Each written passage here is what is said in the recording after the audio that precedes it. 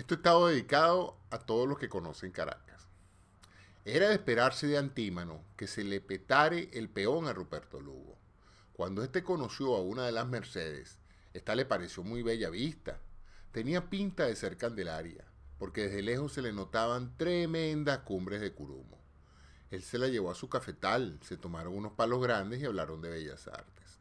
Ella dejó deslizar la sabana grande de su vestido, dejando ver claramente su hoyo de la puerta. Él se le quedó viendo.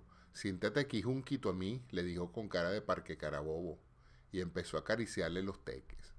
Después le agarró el alto prado, bajando por Valle Arriba, pasando por el prado de María y Quinta Crespo, hasta llegar a su quebrada honda.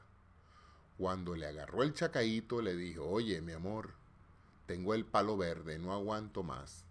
Te quiero Montalbán 1, Montalbán 2 o Montalbán 3 pero cuando intentó bajarle la caraballeda y entrar en el túnel de la planicie, ella le pegó con un tazón y le dijo, no chico, tú si tienes las fuerzas armadas bien longaray.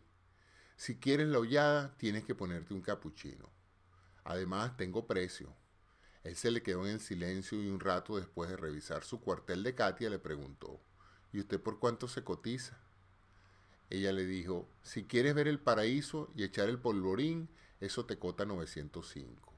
Si además quieres una mamera, entonces te cota mil. Él le contestó con voz alta, mira, caramba Carlota, tú si quieres carapita. ¿Tú crees que yo soy tan maripérez como para pagar por eso? Y ella le dijo, bueno, yo sé que esto es un poco caricuado, pero ese es el precio del placer. Entonces él se resignó diciendo, es preferible que lo dejemos así. Yo mejor me monto en mi coche, me voy a mi casa alta, me hago la boleíta y me doy un masaje en las Californias, norte y sur, y a llorar para el valle. Tchau.